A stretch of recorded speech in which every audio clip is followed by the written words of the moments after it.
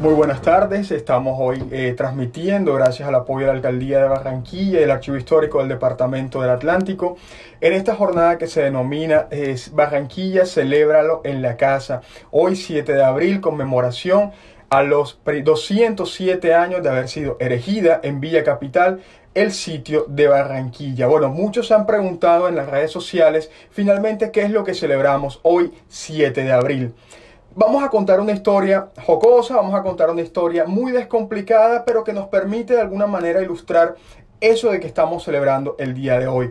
Nos vamos a la época de las independencias, a la, época de la provincia de Santa Marta, a la época de la provincia de Cartagena. Nosotros hacíamos parte claramente de los territorios del estado de Cartagena, de la provincia de Cartagena al momento en que se da el grito de independencia en Bogotá en el 20 de julio de 1810, todos sabemos que el año siguiente, el 11 de noviembre de 1811, Cartagena declara su independencia también. Evidentemente, el estar vinculados por territorios a la provincia de Cartagena hace que nuestro territorio, lo que corresponde actualmente a, la, a Barranquilla, también pues se independice. Esto no caló muy bien en los que residían en la provincia de Santa Marta, quienes mantuvieron de alguna manera una fidelidad a la corona española. Y desde Santa Marta eh, trabajaron o eh, eh, diseñaron un plan para poder atacar a Cartagena. Por tierra, evidentemente por mar, por todo este tema de las murallas, Cartagena es difícil de ser conquistada. Entonces, para pasar desde Santa Marta hacia Barranquilla, evidentemente había, hacia Cartagena, perdón, evidentemente había que pasar por este lugar. Este plan se dio a finales de 1812. Santa Marta planea un ataque español dirigido hacia Cartagena y los patriotas barranquilleros eh, repelen este ataque. Esto fue una, confrontación cerca del lugar donde actualmente se encuentra el municipio de Sitio Nuevo. Y lo que hizo fue que defendimos y pudimos salvar en este caso a la ciudad de Cartagena en este acto patriótico.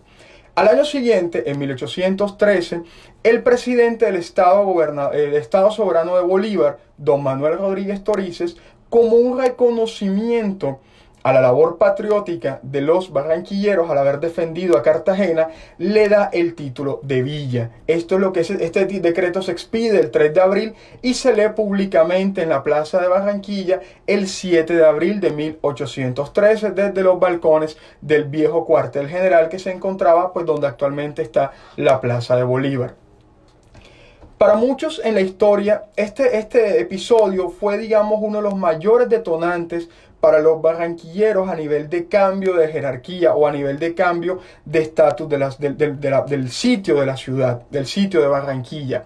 Nosotros no tenemos una fundación española como si la pueden tener ciudades como Cartagena o como la pueden tener ciudades eh, como Santa Marta. Nosotros fuimos un sitio de libres, un lugar en el cual, según diferentes estudios arqueológicos, habían yacimientos eh, indígenas en estos territorios desde eh, tiempos, obviamente, antes de la colonia, antes de la época de los, periódicos, antes del periodo prehispánico. Aquí, digamos, la gente comenzó, se llegó a sentar muy espontáneamente. Existen diferentes mitos fundacionales sobre la urbe. El famoso o el más conocido es aquel que cuenta de que unos pastores o unos ganaderos, galaperos, provenientes de, la encomienda de Galapa se asentaron en los alrededores eh, de lo que actualmente son las pequeñas barrancas, de ahí también deriva el nombre de la ciudad, es una barranca pequeña, una barranca cercana al Magdalena, y se establecieron allí y muy espontáneamente comenzaron a, establecerse y a, crear territorio. Dentro de las crónicas que nosotros hemos compilado, que tenemos en el Archivo Histórico del Atlántico, en el edificio de la aduana, tenemos crónicas que nos compilan que la primera calle en ser trazada en nuestra ciudad es la calle del comercio, es la calle 32, lo que actualmente nominamos la calle 32. Que cerca ese punto de la calle 32 con la actual carrera 44 es donde se estableció lo que se denominó la, la, plaza de la Cruz Vieja, donde se estableció un viejo cementerio y una muy, muy primitiva iglesia. Porque hablamos de la primera calle como la calle 32 y no hablamos de la primera calle como la calle 30? La eh, forma, digamos, la ribera del Magdalena frente a la ciudad de Barranquilla ha cambiado a lo largo de todos estos años. Anteriormente esto era una ciénaga estacionaria que en época de invierno evidentemente se desbordaba y que en época eh, de verano esta se secaba. Y en estas épocas esto era una gran ciénaga que colindaba cerca de lo que actualmente es la calle 32 paulatinamente que se fue haciendo, fueron rellenando esa ciénaga para poder generar toda esa, franja urbana que hoy conocemos entre la calle 32 y la calle 30. Ahí fue donde se generó toda esa zona. Y ese playón que digamos quedó o que, o, que fue remanente de esa nueva trama urbana frente eh, a lo que actualmente es la iglesia San Nicolás, se le denominó primitivamente el Parque Vallejo y posteriormente eh, se constituyó ahí la, la, plaza de San Nicolás frente a la nueva iglesia, que fue trasladada ahí en 1777. Se dice que se traslada de la vieja plaza de la Cruz Vieja a este nuevo emplazamiento precisamente por las condiciones que tenía la otra plaza de ser una zona bastante inundable, de ser una zona eh, muy, muy fácilmente inundable. Entonces tenemos que esta primera configuración de ciudad la vamos a tener entre lo que es la calle ancha, que es lo que popularmente denominamos calle ancha el Paseo de Bolívar, y ahora la nueva franja sobre la calle de las Vacas o la calle 30, enmarcando un poco lo que es el callejón del Rosario, que es la carrera 46, y eh, la carrera de los estudiantes o, el callejón Igualdad, que es la carrera 38. Ese, digamos, es la zona más antigua, la parte más vieja de la ciudad. Es la que tiene el tramado urbano más eh, eh, orgánico, digamos, son unas calles muy curvas, son unas calles que básicamente siguen o ya sea el curso de algunos arroyos o también puede seguir el cauce de la misma forma del caño, que toma la forma del caño del mercado. Entonces, digamos, esta, esta es la primera génesis que tenemos como ciudad hay otras fechas, sí, hay muchas personas que también señalan que tenemos muchas otras fechas eh, importantes para hablar de ciudad, y es correcto, y precisamente una de esas nos lleva a 1857. En 1857 este, este poblado o esta villa alcanza precisamente el estatus de ciudad. Ya, no, ya deja de ser la villa y pasa a ser la ciudad. Entonces, cuando tenemos este nuevo cambio o esta nueva extensión del territorio, la ciudad básicamente hacia 1857 se extiende hasta más o menos lo que actualmente es la avenida Murillo. Se mantiene ese borde sur sobre la calle, eh, sobre la carrera 38 o el callejón Igualdad. Eh, la calle 30 junto a la zona del mercado de la Plaza Jueta y de la zona de la carrera 46 que pues, en esa época se denominaba Callejón del Rosario junto al sector de, la, de las antiguas aduanas, de las antiguas aduanas que se han establecido aquí en nuestra ciudad. De hecho, esa, esa delimitación que les acabo de hacer a nivel espacial es lo que actualmente nosotros denominamos Centro Histórico de Barranquilla. Esos fueron los límites, la extensión total del territorio de nuestra ciudad. En 1857 fue lo que se estableció para poder hablar de todo, eh, para poder delimitar lo que actualmente es el centro histórico de la urbe. Hay unas, eh, con relación al tema del 7 de abril, para nosotros va a ser una fecha muy importante, para nosotros va a ser una fecha de gran importancia y va a ser muy significativa porque nosotros no fuimos una ciudad fundada. Nosotros como ciudad nadie nos fundó, no fuimos una fundación española, como les menciono, fuimos un sitio de libres. Y como sitio de libres que fuimos, el, el poblamiento de la urbe fue muy, pero muy espontáneo. Al momento en que se nos entrega ese decreto, el 7 de abril de 1813, que nos elevan a esa categoría de villa, que en ciudades del interior del país también es muy famoso. Miren que ustedes pueden ver ejemplos como la villa de Guaduas, la villa de Honda, la villa de Leiva. Hablar de villa en, esta, en esa época de, la colonia es como decir hoy en día la categoría de distritos. Al darnos por fin esa categoría, la ciudad podía tener una fecha para celebrar, digamos, su existencia. Por fin la ciudad podría tener un momento en el cual podíamos trazar y poder decir, esta es como nuestra efemérides, nuestra fiesta patria. Además de eso, junto con la declaratoria de Villa, también se nos entregó algo muy interesante y esto es el escudo de armas de nuestra ciudad. Si ustedes cotejan un poco la historia que les acabo de contar del ataque que se da desde Santa Marta, junto con el tema del escudo de armas, ustedes ven que la composición de nuestro escudo de armas es el pabellón, el, el, asta bandera con la bandera de nuestra ciudad, que en ese momento fue la bandera de todo el Estado soberano de Bolívar. Vemos un miembro del batallón guardia presidencial haciendo custodia de la bandera con dos cañones apuntando precisamente hacia el río Magdalena. Claro, por allá era por donde se había perpetuado el ataque. Y vemos en la parte superior el título Premio al Patriotismo, cita textual del acta declaratoria de Villa, dice para que sirva de perpetuo honor y gloria a la nueva Villa de Barranquilla y de perpetuo y de ejemplo y justo estímulo a los demás pueblos de este estado. fin de la cita. Entonces, toda esa historia, digamos, a veces la tenemos presente en este tipo de elementos y a veces eh, no, no, no, no la hacemos tan tangibles y no le damos realmente el valor que este, este tipo de fechas van a tener en nuestra ciudad. Claro que la ciudad ha venido cambiando de estatus administrativo a lo largo del tiempo. Pasamos en 1813 de Servilla, en 1857 fuimos ciudad, en 1905 va a suceder algo muy, muy interesante para nosotros como ciudad y es el hecho de pasar a ser ya no solamente una ciudad, sino a pasar de ser la capital del nuevo departamento del Atlántico.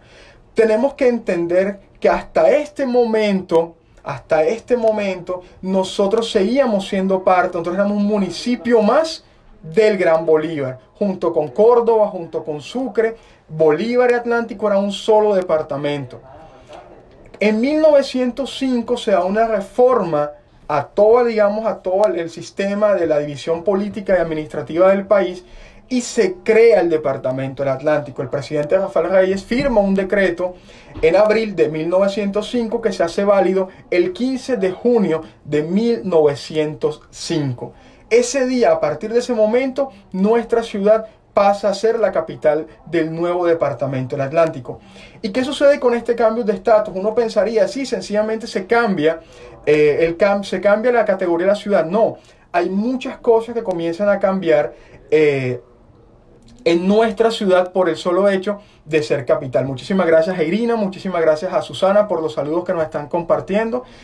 Eh, hay muchas situaciones que cambian nuestra ciudad.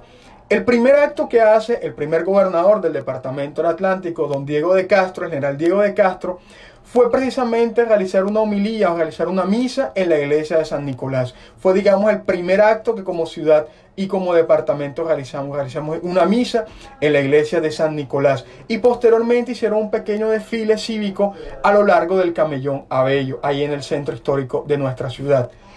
Al hecho de ser ahora la capital, del nuevo departamento, lo importante era modernizar la capital, ¿cierto? Era lo más básico que podríamos hacer en una situación como esta, poder modernizar nuestra capital. Entonces, ¿qué sucedía? Él, el padre que regentaba los destinos de la iglesia de San Nicolás, solicita al gobernador precisamente que le facilite los diseños de un arquitecto apellido Masterali y es quien reforma la iglesia de San Nicolás dándole ese aspecto que hoy tenemos, que hoy en día conocemos, una iglesia con cinco naves, una iglesia mucho más grande de la que originalmente tenía aquel pueblito de aquella villa, ¿cierto? Era una iglesia muy muy básica, ahora mismo pasa a ser una, una, iglesia mucho más grande. Comenzamos a construir cosas como por ejemplo el palacio de gobierno que tampoco teníamos o una sede para la, la, alcaldía de la ciudad, porque todas estas entidades comenzaron a funcionar en casas, en locales, en el primer piso de alguna de estas casas bordeando la plaza de San Nicolás. En 1905, luego de la creación del departamento, comienzan a crearse toda una serie de espacios en la urbe para darle esa categoría de, eh, de ciudad, a la, de, capital a la, nueva, a la nueva capital del departamento del Atlántico. Ustedes me van a decir, ¿qué, ¿qué cosas tenemos, por ejemplo, de eso? Hombre, tenemos cosas como, por ejemplo, en 1910, durante la conmemoración del primer centenario de la batalla de Boyacá, eh, de la, del grito de independencia, perdón, en 1910, durante la conmemoración del centenario del 20 de julio, se dona eh, la colonia sirio-libanesa en la ciudad la Estatua de la Libertad, que es colocada en el Parque Centenario, precisamente de ahí se deriva su nombre, que está ubicado, que está ubicado frente a la iglesia de San José. Ahí colocan esa Estatua de la Libertad como conmemoración al primer centenario del, del 20 de julio. Eh, Andrés Obregón dona el 7 de agosto de 1919 eh, una estatua ecuestre del libertador Simón Bolívar que es ubicada en, inicialmente en la Plaza de San Nicolás que pasa a llamarse a partir de este momento la Plaza de Bolívar. Era originalmente la Plaza de San Nicolás. Y en 1910 la colonia de inmigrantes italianos en nuestra ciudad dona la estatua de Cristóbal Colón, que es ubicada en los jardines del cuartel general, es decir, en donde actualmente está la carrera 44 con el Paso de Bolívar. Y esa calle pasa a denominarse, de ser el Camellón Abello, pasa a denominarse Paseo de Colón. Entonces, ahí tenemos una serie de aportaciones que estos cambios de estatus administrativo nos han generado y nos han dejado huella en nuestra ciudad. Posteriormente tenemos obras mucho más imponentes como por ejemplo el edificio de la administración de la aduana. El edificio de la aduana va a ser de las primeras grandes obras que el gobierno nacional va a construir la nueva capital. Entonces de ahí viene su importancia histórica. Y ojo, y hay un dato también muy importante. La primera piedra de la aduana la colocaron el 20 de enero de 1919, pero el edificio es puesto en funcionamiento en 1921, es decir, el próximo año celebramos nuestros primeros 100 años también. Pero sucede que por tradición popular se dice que cuando Marco Fidel Suárez, presidente de la República, vino a inaugurar la aduana, el presidente dijo que esta ciudad era el pórtico dorado de la República, es decir, la puerta de oro de Colombia. Ese lindo nombre, ese lindo nombre que tiene nuestra ciudad, nace precisamente con la entrega de las obras de la construcción del edificio de la aduana en 1921. Entonces van creándose una nueva serie de espacios. Ya para 1922 eh, el gobierno departamental va a contar con su propio palacio de gobierno que está ubicado en la calle 35 con carrera 39, lo que actualmente es el Centro Cultural de la Gobernación del Atlántico, donde queda el museo, donde queda eh, una galería, una colección de arte departamental en la primera planta. Entonces aquí vemos como una serie, como esa serie de cambios administrativos van permitiendo realizar una serie de reformas a nuestra ciudad. Alguien me pregunta por el tema del Paseo de Bolívar. ¿Qué es lo que pasa con el Paseo de Bolívar? Volvemos nuevamente al corazón de la capital. Estamos hablando de precisamente de este tema de eh, el Camellón Abello, que posteriormente se va a denominar eh, la plaza, el Paseo de Colón. Pero sucede que cuando llegamos a 1930 se conmemora el primer centenario del fallecimiento del libertador de Simón Bolívar en 1930. Digamos que se despierta, se vive un poco más en toda la ciudad y en todo el país en general este tema del espíritu bolivariano y se decide cambiar las plazas. Simón Bolívar pasaría a estar en la plaza de Bolívar donde actualmente se encuentra y Cristóbal Colón pasaría a la plaza de San Nicolás. Es decir, ambos cambiaron pedestales. El uno pasó a la plaza, de, a la plaza del otro, pero hay una intervención urbana mucho más grande en Plaza Bolívar, en el Paso de Bolívar. Muchos hablan del famoso edificio del cuartel, pero realmente este cuartel no está ubicado donde actualmente está la caja agraria. El cuartel está ubicado donde actualmente está la Plaza de Bolívar. Hay algunas fotografías de las que tenemos en los archivos en la cual se puede evidenciar que tenemos el edificio del cuartel ubicado en toda la carrera 44, de ahí de hecho deriva su nombre, Callejón Cuartel, y sobre el callejón Líbano, que es la carrera 45, podemos apreciar la obra del edificio Palma. Muchísimas gracias a Adriana, a Maya, eh, Angélica, que nos acompañan también en este momento en esta transmisión. Entonces, ¿qué tenemos? Se es demolido el cuartel general, se es demolido el cuartel general con el propósito primero de construir una nueva plaza de Bolívar en este caso y segundo para dar una mayor vistosidad al edificio Palma que ya se encontraba construido desde 1928. Se, se cambian los monumentos. Originalmente Cristóbal Colón no iba para la plaza de, San Nicolás. Hay quienes especulan de los documentos que hemos tenido que Cristóbal Colón lo iban a colocar eh, o, inicialmente en Bocas de Ceniza o lo querían colocar en la zona del puerto de la ciudad que estaba a punto de ser inaugurado, pero consideraban que en esos dos lugares pues las personas no tendrían un contacto directo con los monumentos o no los podrían apreciar. Entonces, lo que se hace es que se dice que por un tiempo esta, esta estatua estuvo guardada hasta que el Consejo de la Ciudad decidió trasladarla y ubicarla finalmente en la plaza de San Nicolás.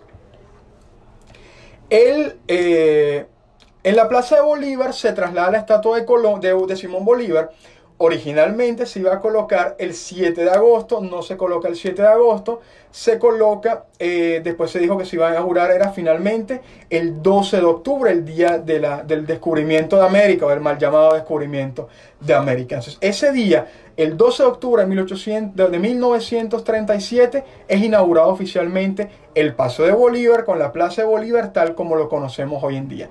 Deimer me pregunta, ¿es cierto que legalmente se elevó a Villa el 3 de abril pero la gente adoptó el 7? Son dos cosas muy diferentes.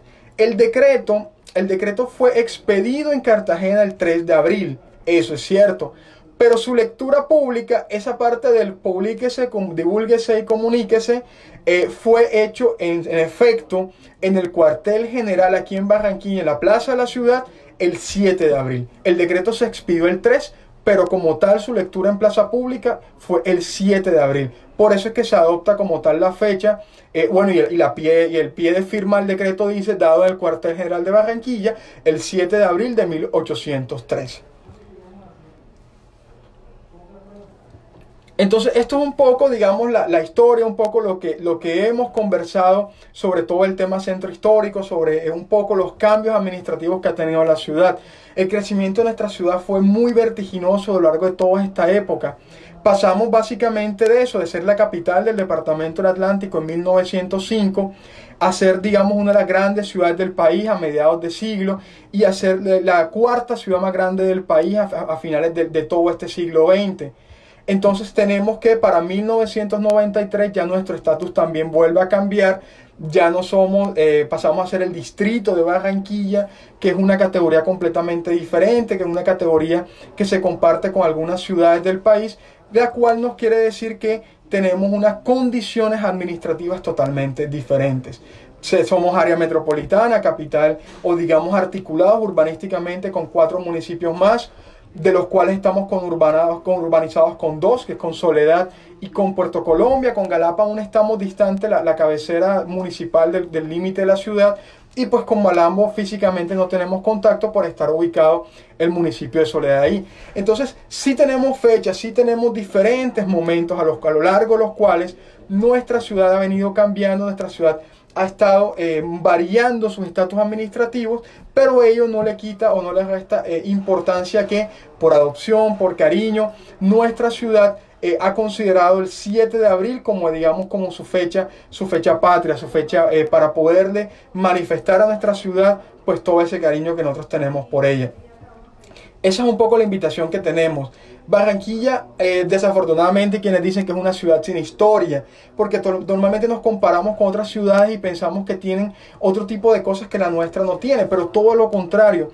Nosotros tenemos una historia muy valiosa, tenemos una historia muy llamativa y solamente tenemos que pellizcarnos un poco para poderla descubrir. ¿Cuál es la invitación una vez suceda o que pase todo este tema de la cuarentena? Es realmente es seguir enamorándonos de nuestra ciudad, es poder ir y disfrutar el Prado en todo su esplendor, ahora en sus 100 años, todo este legado maravilloso que tenemos de construcciones neoclásicas, moriscas, art deco, en las zonas históricas de Prado, de Alto Prado y de Bellavista. Es caminar el centro histórico y ver más allá del abandono, ver más allá del edificio que se encuentra deteriorado, es ver todo ese tipo de cosas que en algún momento inspiraron a plumas tan grandes como las de Gabriel García Márquez. Nosotros como ciudad tenemos un valioso, unos tesoros arquitectónicos, culturales muy, muy bellos y a veces las personas no les dan los valores eh, que este tipo de cosas tienen, ¿cierto? Nosotros tenemos espacios bellísimos como nuestra catedral, que su fachada representa con los siete vitrales los siete días de la creación. Es un espacio cargado de mucha simbología. Entonces, tenemos diferentes elementos que hacen que nuestra ciudad tenga una historia muy valiosa, una historia que vale la pena, una historia que merece ser compartida. Susana nos pregunta por el muelle de Puerto Colombia. Puerto Colombia eh, fue inaugurado el 31 de diciembre de 1888. Esa fue la fecha pues, de inauguración eh, del sistema del muelle de Puerto Colombia, aunque hay algunos que lo sitúan también en 1885. Lo que sucede es que el muelle también ha tenido unas transformaciones. Originalmente eh, era un muelle metálico o de madera y posteriormente fue que se revistió en, en, concreto, que es la estructura que, que tenemos como preexistencia hasta nuestros días. Entonces agradecemos este espacio que nos genera la alcaldía de Barranquilla hoy 7 de abril para celebrar, seguir celebrando desde casa, desde la casa, eh, este cumpleaños número 207 de la elección en Villa de nuestra ciudad. Pueden seguir a través también de nuestras redes sociales en Archivo Histórico del Departamento del Atlántico y en nuestra página web también www.archivohistoricolatlántico.com. Muchísimas gracias y pues seguimos celebrando a nuestra ciudad.